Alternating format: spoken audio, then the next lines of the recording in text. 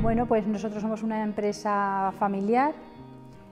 que nos dedicamos ya de cuatro, somos la cuarta, la cuarta generación de, productores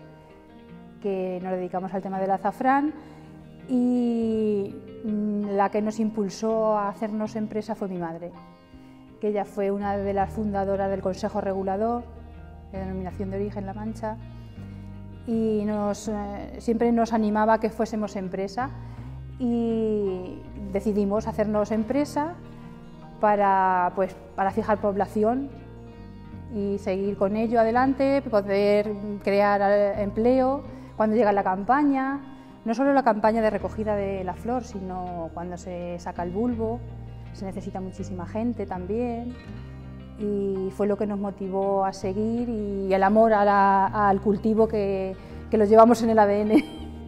lo llevamos en la sangre. Nos hemos criado siempre entre ellos y, nos gusta muchísimo. Somos seis hermanos